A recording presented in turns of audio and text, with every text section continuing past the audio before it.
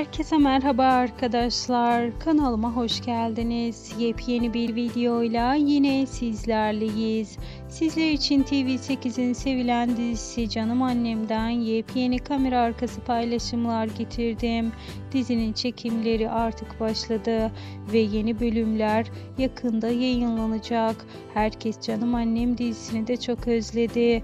Deprem sonrası bir hayli ara veren diziler artık çekimlerine kaldığı yerden devam ediyor.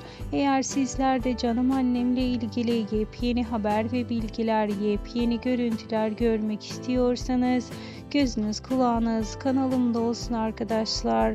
Şimdilik ise benden bu kadar. Bir sonraki videolarda görüşmek üzere. Hoşçakalın.